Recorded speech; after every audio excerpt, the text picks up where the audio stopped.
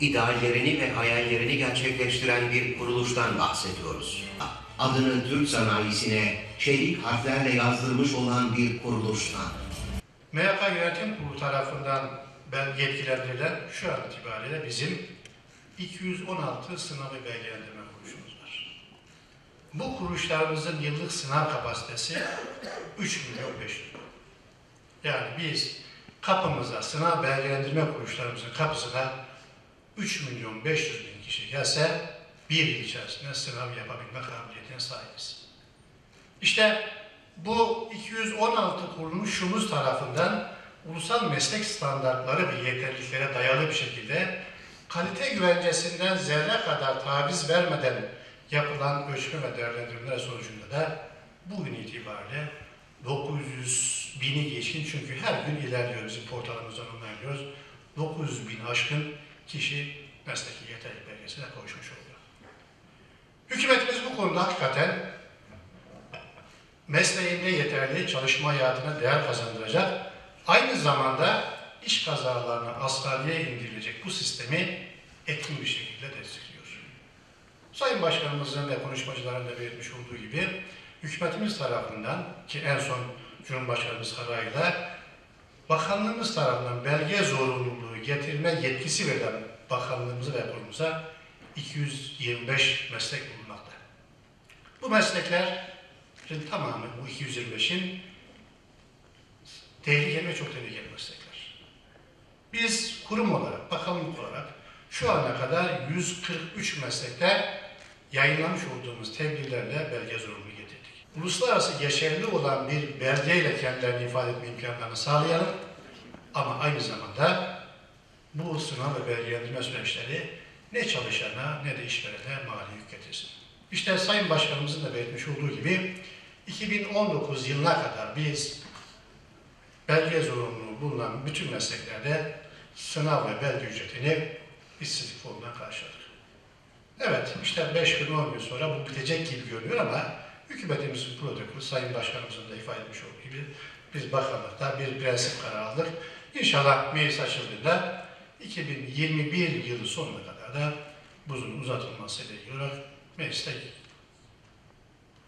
olması gereken süreçler tamamlandıktan sonra kanunlaşıp yürürlüğe girmiş olacak. Sendikacılık, ücret, toplu sözleşme, yeni haklar, geliştirilmiş yeni sosyal hakların ötesinde ülkemizin nitelikli iş gücünü de düşünerek ve gelecekteki kaliteyi, verimliliği de düşünerek elimizi taşın altına koyduk. MEYEP'in hak işe bir maddi katkısı falan yok. Zaman zaman hak işin ciddi katkılarıyla MEYEP, hak iş MEYEP bugünlere gelmiştir. Bugün tabii ki bir işletme olarak gelir gider finans dengesini kurmak için çaba sarf ediyor Sayın Genel Müdürümüz.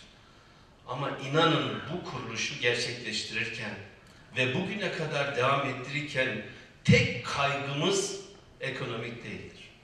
Tek kaygımız yetişmiş, kaliteli, nitelikli insan gücümüzü artırmak. Sendikacılığımızın birinci hedefi elbette ki sendikal görevlerimizi yapmak. Bunu en iyi şekilde gerçekleştirmeye çalışıyoruz. Geleceğimiz olan nitelikli iş gücümüz ve bu tesislerde çalışacak arkadaşlarımızın mümkün olduğunca tecrübelerini belgeyle güçlendirerek hem sadece bu ülkede değil, bütün dünyada karşılığı olan, bütün dünyada geçerliliği olan bir belgeye kavuşmalarını sağlamak bizim için sendikacılığımız kadar bu da önemlidir. Onun için MEYEP, Türkiye'deki işçi konfederasyonları ve memur konfederasyonları içerisinde bir konfederasyonun tek işletmesidir o da işi. Ve geçtiğimiz haftalarda MYK'nın özellikle bir çalıştayında da ifade edildi. Yaklaşık 10 binin üzerinde belgeyi hakkıyla, hakkıyla hiçbir şekilde herhangi bir herhangi bir sıkıntıya meydan vermeyecek şekilde haklı ve gerçekten kurallara uygun şekilde yapılan sınavlarla arkadaşlarımıza belge temin edildi. Bu belgelerin sayısının daha da artacağına inanıyorum. Genel müdürümüzün göreve başlamasıyla ve her kademedeki bütün mühendisler işçisine kadar sizlerin de desteğiyle hamdolsun otomotiv sektörüne artık çeliği biz veriyoruz. Bu önemli başarı. Sadece Türkiye'de üretilecek yeni otomobil değil, şu anda onlarca otomotiv sektörü var. Otomotiv üretiliyor. Ha yerli marka değil ama Türkiye'de üretiliyorlar. Bunların çeliğine hamdolsun biz vermeye başladık. Aynı şekilde savunma sanayine, savunma sanayiyle ortak çalışmalar, komisyonlar başlattık. İnşallah Türkiye'nin savunma sanayinin çeliği de Karademir'den gidecek. Teker sektörüne baktığımızda dünyada 16.sı olan demiryolu tekerine hamdolsun sizlerin gayretleriyle üretime başladık.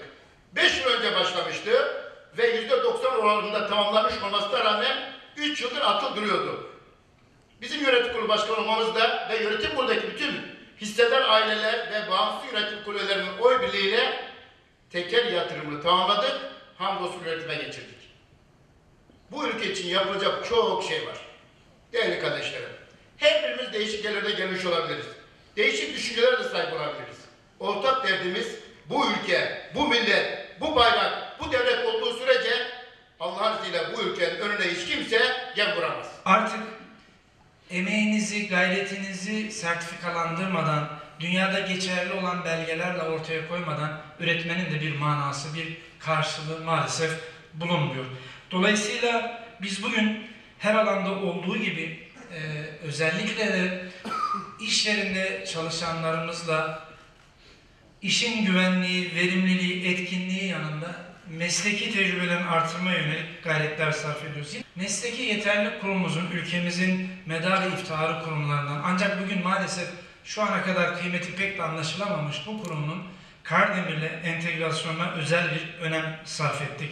Dolayısıyla Mesleki Yeterlilik Kurumu kurulduğundan bugüne ülkemizin sanayisinin gelişimine ciddi katkılar verdi. Bundan sonra da eminim e, Sayın Başkanımız ve değerli ekibinin de çalışmalarıyla hak ettiği ilgiyi de karşılığı da görecektir. Hak İş MİEP ve Kardemir ortaklığında şu ana kadar 2017 senesinde makine bakımcı seviye 4 olarak 301, çelik kaynakçısı seviye 3, 32, refrakterci olarak toplam 75 personelimizi belgelendirmişiz.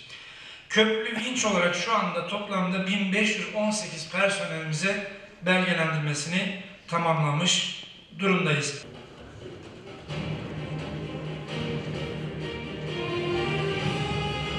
Sayın Şahri Yolbulan'ı sahneye davet ediyorum.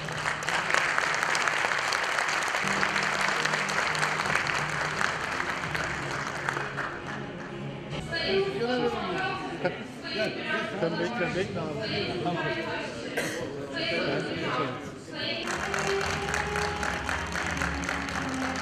Başkanım biraz beklemeniz.